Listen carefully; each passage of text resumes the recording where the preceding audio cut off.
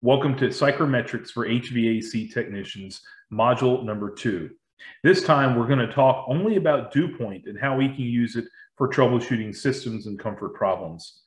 As a reminder, this training is designed for HVAC technicians. It's not really meant for engineers and other designers. Rather, it's going to cover things that HVAC technicians will run into on a regular basis when doing service calls. So as a review from last time, if we know two properties of air, then we can plot a point on the psychrometric chart. So for example, if we know our dry bulb temperature and our grains of moisture, then we can plot a point. Changing any property of air and moving that operating point in any direction, in any location on the chart is called a process if we have a starting point and a uh, ending point and that is called a process. And usually the starting point is our return air and the ending point is our supply air for this training typically our return air will be in red and our supply air will be in blue. The heating process moves the point from left to right. So whenever we see the line going from left to right then we are strictly heating. The cooling process is going to move from right to left so the opposite direction and dehumidifying removes the moisture and moves the point down, as we can see here. Cooling and dehumidifying will be a combination of moving to the left and moving the operating point down. At any point in the chart, dew point represents the temperature that moisture is going to start condensing or falling out of the air. This moisture is called condensation. So to, to figure out what your dew point temperature is, you take your operating point, you draw a straight line all the way to the left. When it hits your saturation curve, that number is your dew point. In this case, our saturation uh, curve hits the dew point line right at 55 degrees dew point. Troubleshooting condensation problems we go on a lot of condensation problems on service calls, especially in high humidity areas. Condensation happens when humid air hits something cold. So, for example, if it's a hot, humid day and I have a cold drink in my hand, what's going to start happening on the outside of this can? It's going to start sweating, and that is called condensation. That's what happens when humid air hits something cold. Or another way of saying is when moisture laden air hits a surface below its dew point. So air at any given point has a dew point at which it's completely saturated. If it cools down any more, then condensation will start to form. Well, if that surface is below that dew point, then condensation will form on that surface. The only place that condensation is really acceptable is when it forms on the evaporator coil and drains out because that's how we dehumidify a space. Everywhere else is unacceptable. So if we have condensation problems anywhere else, if we see condensation forming anywhere else, that's a problem, and we need to troubleshoot it and recommend a solution. And understanding dew point is critical to diagnosing the source of unwanted condensation. Let's talk about condensation now on an evaporator coil. That's the desirable form of condensation. That's because that's the only way in which we can dehumidify a space typically with comfort cooling. The condensation forms on the evaporator coil and it drains out. That's because the evaporator coil is so cold it's below the dew point of the air that we're blowing across it. So for example, the space temperature uh, in a given problem is 80 degrees dry bulb and 60% relative humidity. Uh, so let's go ahead and plot that 80 degrees dry bulb and 60% relative humidity. And our evaporator coil is all the way there on the left. That's 40 degrees. So let's plot our dew point. Here's our operating point. And if we want to plot our dew point, then uh, we're going to take an imaginary line and draw it all the way horizontally to the left of that operating point and we arrive at 65 degrees dew point. That means that anything below 65 degrees, eh, that air is going to start forming condensate on that surface. So if that coil is 40 degrees, will condensation form on that coil? Absolutely, because it is well below dew point at 40 degrees and our dew point is 65. And that's what we want. We want condensation to form on that evaporator coil because that's how we're going to dehumidify the air. Forms of unwanted condensation. These are going to be service calls and other problems that we're going to have to solve. So one of them that we may run into is the inside of the windows have condensation in the winter. Remember, condensation forms when humid air hits something cold. So even though the air may not be that humid inside on a winter day, that window is very cold. That's because windows don't have much of an R value. So the windows are going to conduct that heat right out of that window, and it's essentially going to be very close to the same temperature as it is outside, especially a single pane window. So the humid air hits the cold window and condensate starts forming on the inside. And we don't want that because condensation can drip, it can rot the wood and uh, other surfaces that it touches. So condensation forming on a window is not good. So we have to recommend a solution. Now we can do one of two things. We can either warm up the surface of the window uh, to be warmer uh, or the indoor air needs to be less humid. One way or the other, we need to get that window above the dew point of the air. So let's plot this on the psychrometric chart and see what the maximum allowable um, indoor relative humidity would be on a single pane window. If you keep your home at 70 degree dry bulb, well, here's our 70 degree dry bulb line. And if it's a single pane window, essentially that window surface is going to be 25 degrees or whatever temperature it is outside uh, on both sides of the window, even on the inside. So if it's 25 degrees outside, the inside of that window pane is also going to be 25 degrees. So at what point does condensation start forming if that window is 25 degrees? Well, as you can see here at the intersection of the dew point line and our dry bulb line, the relative humidity that it will start forming condensation is around 15%. That's an imaginary line between 10% and 20% relative humidity. That means if our RH inside rises above 15%, then we're going to have condensation on the inside of that window. That's a very low amount of relative humidity. Even if we don't have a humidifier, just by living in the house, the relative humidity is typically going to be higher than that. That's why single pane windows sweat a lot. So here's a lesson that we have to learn then. If we're installing a humidifier on an older home with single pane windows, that is a very bad idea because any humidity that we throw into that house is going to condense on that window. It also explains why we see supply registers that are usually located in front of windows on old houses. That way they can blow hot air across them and raise the inside temperature of that window pane above the dew point of the air. And in new houses, this isn't as important when you have double pane and triple pane windows, uh, but on older houses or in very cold climates, it's something to keep in mind. Here's another unwanted condensation problem, rusted registers. We see this a lot here in the South where I live. You'll see rust forming on a register. You might even see condensation droplets on a ceiling register. What's the cause of this? Well, obviously, it has something to do with the moisture of the air. Rust, rusted registers are an indication of condensation that's forming on them, and this usually happens during humid weather, during the summer months. What's the solution? Well, again, we either have to raise the register temperature above the dew point, or we have to lower the room dew point. One way or the other, we have to get that register to be above the dew point of the air around it. Now, a warmer register is not really possible because we have to throw 55 degrees air out of that register in order to properly cool a room. So that register is going to stay 55 degrees when the air is running. There's not a lot we can do about that.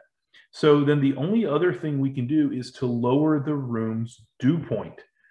So let's run an exercise and plot this on the chart and see what we can do about this problem. We have a customer that keeps a room at 68 degrees, but complains of rusted registers. And so you walk in there with some instrumentation, and sure enough, you read 68 degrees, and you also read a humidity level of 65%. So let's plot this out on the chart. Here's our 68 degree dry bulb line, and here's our curve of 65% uh, relative humidity. So let's plot the dew point of the air in those conditions. So here's our operating point. We're going to draw a horizontal line to the left where it intersects that curve. That's our dew point. What is it? It's 56 degree dew point. So step two is to measure the supply air temperature. If that air temperature is below the dew point, then the register will sweat. In this case, the register is, is putting out 55 degree air, and that explains why we have a rusted register. Step three, we have to determine whether the supply air temperature is abnormally cold or whether the room dew point is abnormally high. And in this case, if we're reading 55 degree air, then uh, that's pretty normal. We must have a very high dew point in the room. And so that's really important to understand because if you could have very low supply air temperature if you have an airflow problem. You could have as low as 45 degree air coming out of the vents if you have an air velocity problem. And in that case, you're going to have condensation problems even when room dew point is at a normal level. So you've got to make sure that your eh, supply air temperature coming out of the vents is not too cold, but somewhere in the 50 to 55, maybe even as high as 60 degree range. That's usually a, uh, a good temperature for supply air and your register should not be sweating at that temperature. So here's some lessons here. A 55 degree room dew point is a safe level. In this case, our room was at 56 and we had condensation forming. So we want to keep it 55 or lower just to be on the safe side because that's going to be lower than typical supply air temperatures. Let's talk about another form of unwanted condensation, and this is duct sweating. We see this a lot here in the South in people's crawl spaces because crawl spaces are very humid. Condensation can form on the inside as well as the outside of ducts. So we have to know how to handle each situation depending on where the condensation is forming. If the condensation is forming on the outside of the ducts, then that means that the outside surface temperature is below the dew point of the surrounding air. So for example, if it's in the crawl space, our only solution is to lower the dew point of the crawl space or properly insulate the duct so that the surface temperature is above that dew point. How do we lower the dew point of a crawl space? We've got to prevent the moisture from coming up through the ground. So a good uh, installed vapor barrier with a thick mil plastic sealed around the perimeter, sealed against any support post is a proper way of sealing a crawl space. And we want to properly insulate ducts. If they're uninsulated, then you're definitely going to have condensation issues. So if you are on a service call and you see ducts that are uninsulated, that is something to take note of. They're going to have signs of condensation, no doubt. How about ducts in an attic? What can we do there? Well, we don't typically recommend to seal an attic unless we're doing a full spray foam encapsulation. But what we don't want to see is what we see pictured here is where ducts have been buried in blown insulation. What happens there is when they're buried in, in the insulation, moisture is still getting to the, the inside uh, where the ducts are. But because of that insulation, you've created a cool pocket there where you've got very humid air, but the surface temperature of that duct is very cool. It's below the dew point and condensation forms. No, if you're going to have ducts in the attic, they need to be very well insulated, R8 or higher, and you need to keep them out of the blown insulation. That way, the surface temperature of the, the outside jacket of that duct insulation is allowed to, to heat up because of the attic heat and it stays above the dew point temperature of the air around it. So properly insulate ducts, not only in crawl spaces, but in attics. We want to avoid burying ducts in blown insulation. Condensation can also form on the inside of fresh air ducts in humid climates. For example, in many southeastern climates, especially by the Atlantic Ocean or the Gulf, you've got outside dew points of 70 degrees. That means that if you're introducing that very humid fresh air and it comes into a building in an uninsulated duct that's below 70 degrees, condensation will form as you see here in the picture and that'll eventually cause moisture problems, biological growth, and rusting of the ducts. So we have to insulate fresh air ducts uh, so that we don't have condensation forming on the inside or the outside of them. Also, in the wintertime, bath exhaust ducts can also have condensation on the inside. Think about it. You're taking a hot shower, you're pulling all that steam through your, your bath fan, and that ductwork runs through a very cold attic in the middle of winter. Well, that ductwork is going to be very cold and it's going to be below the dew point of that moisture laden air that's sucking from your shower. In that case, you could start having condensation forming on the inside of that ductwork. So, fresh air as well as exhaust ducts have to be insulated for that reason. The solution to duct condensation is to properly insulate ducts and to try to lower the dew point of the air surrounding the ducts. Dew point versus relative humidity. We're very familiar with relative humidity, and most of our customers are, and our industry is. It's a commonly used term for explaining how much moisture is in the air. Now, remember that relative humidity is relative to the amount of humidity that the air can hold. It's sort of like that sponge. If it's very warm air, then it can hold more humidity, more moisture. So, relative humidity can be deceiving because it's a moving target. It, it changes with the dry bulb temperature we can start getting locked into what we want to see for relative humidity and ignore other factors that are creating moisture problems. We could have a moisture problem, but if our relative humidity is within that target range that we're okay with, we may ignore a problem that's really there.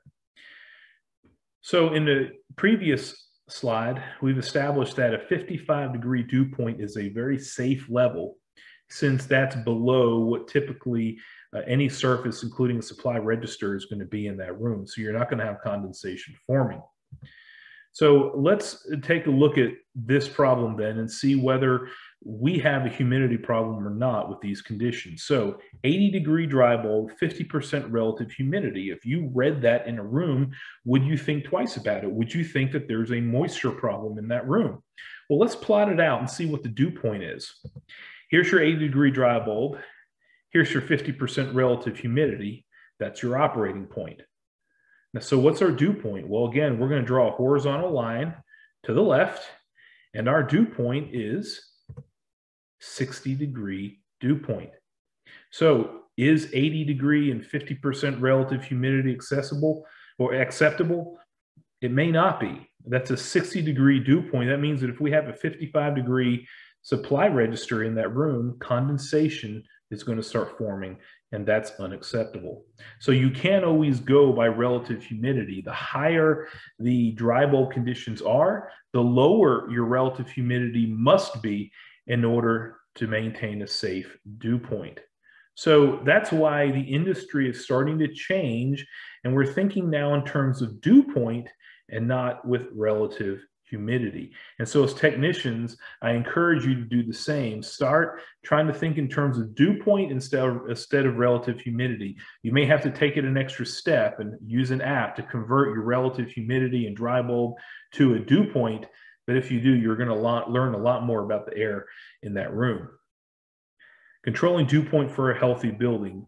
We're all familiar with the ASHRAE organization, which sets standards for the HVAC industry.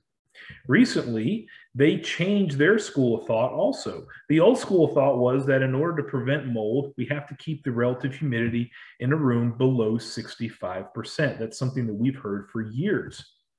But recently, ASHRAE revised their standards, and instead of calling for 65% or less relative humidity, they changed that to calling for 60 degree dew point or less. And here's the actual language 60 degree Fahrenheit indoor dew point limit avoids the microbial growth problems frequently observed when humid outdoor air infiltrates into buildings that are mechanically cooled. Microbial go- growth is common during cooling seasons and especially when cooling and occupancy are intermittent. And at the time that this video is being made, we're still, it's 2021, we're still technically in the pandemic, and a lot of buildings have intermittent occupancy or a lot less occupancy. Therefore, uh, there's a lot more humidity in these buildings. The rest of the language goes on to state that the relative humidity of the air does not affect microbial growth until the water vapor is absorbed or condenses on the surface. Limiting the indoor air dew point rather than relative humidity limits the total mass of water vapor available for condensation or absorption. Further, limiting the dew point to 60 degrees Fahrenheit prevents actual condensation until the air contacts a surface that is cooler than 60 degrees Fahrenheit.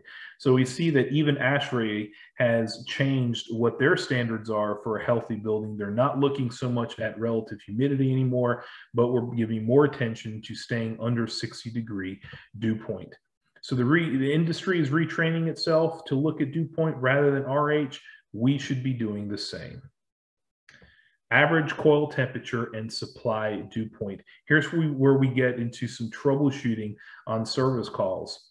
We know that our target evaporator coil temperature is 40 degrees. That's what we want that indoor coil to be because it can remove heat and moisture from the air before it supplies it back into a room. So as a quick review, refrigerant comes out of the metering device into our evaporator coil as a cold liquid. That target temperature is 40 degrees. But eventually that liquid boils off and it's now a vapor. And the vapor temperature that's still in the coil begins to rise as it continues to absorb heat. So even though our target evaporator coil temperature is 40 degrees, in reality, our average may be a few degrees higher than 40 because of those factors. Here's a rule of thumb that you're going to want to, uh, to remember, and this is based on extensive um, documentation and observations in the field, is that our supply air dew point typically ends up being 5 to 10 degrees higher than our average coil temperature. So let's put some real numbers of that. Let's say our target evaporator coil temperature is 40 degrees, and that's what the average is, is 40 degrees. That means we can expect a supply air dew point to be somewhere in the 45 to 50 degree uh, range. So let's plot this on a psychrometric chart. We're going to plot an air conditioned process and see how our dew point drops. So take a look at our return air operating point, 75 degree dry bulb, 60% RH. And what is our dew point? It's 60 degree dew point. That's what's coming into the evaporator coil. Notice what's coming out as our supply temperature. We're coming out at 50 degree dry bulb, 50 degree dew point. So we not only lower the dry bulb temperature, but we also lower the dew point. And we can expect that our average coil temperature would be somewhere around the 40 degree mark. Uh, so, and, and, that's what we usually notice is that our, our evaporator coil temperature is between 40 and 45 degrees, which is normal. Now let's use that knowledge to troubleshoot a potential problem. We're going to plot an air conditioning process on a system that may not be performing well. How can you tell? Okay, so here's our return air operating point, 75 degree dry bulb, 60% RH. And here's our supply air uh, temperature, and that's our process line. So this air, what is the dry bulb temperature of the air leaving, the supply air. It's 60 degree dry bulb. So really we have a 15 degree drop from 75 degree dry bulb down to 60 degree across that evaporator coil. If you saw that 15 degree drop, would you think there's a problem? Well, you might, but you may not. It's kind of iffy, right? So we need to look at what our actual dew point is. Notice that our supply air dew point is 57 degrees. That's not normal. That's very high because if we were to do the math, and we know that our coil temperature is going to be somewhere between 5 and 10 degrees colder than that, that would put our evaporator coil at 47 to 52 degrees, which is way higher than 40 degrees. So that's way too high. What can cause a warm evaporator coil?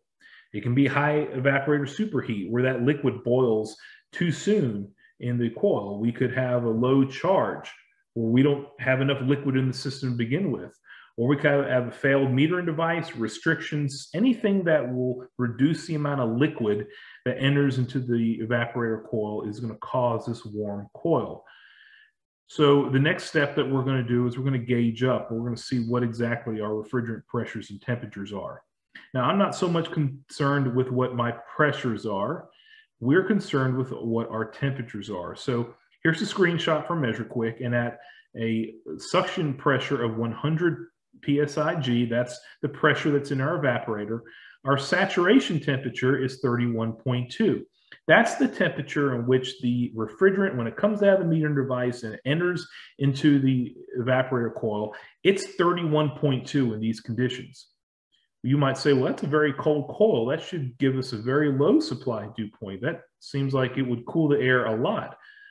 Well, it's true. When the refrigerant first enters that evaporator, it's going to be 31.2. But if that evaporator is starved of liquid, it's not going to stay 31.2 for very long. It's going to boil off very quickly. It's going to turn into vapor, and then that vapor is going to start rising in temperature. So your average coil temperature is going to be a lot higher than that because you're going to have a lot of superheat on the refrigerant side.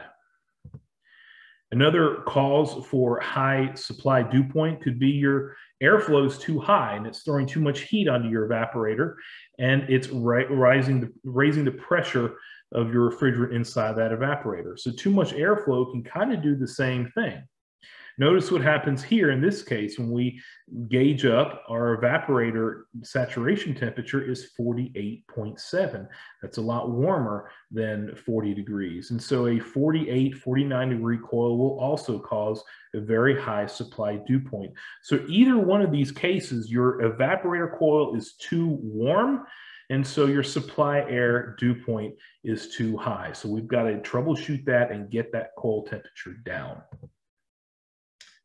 So in review, condensation forms when the air that has moisture in it hits a surface below its dew point.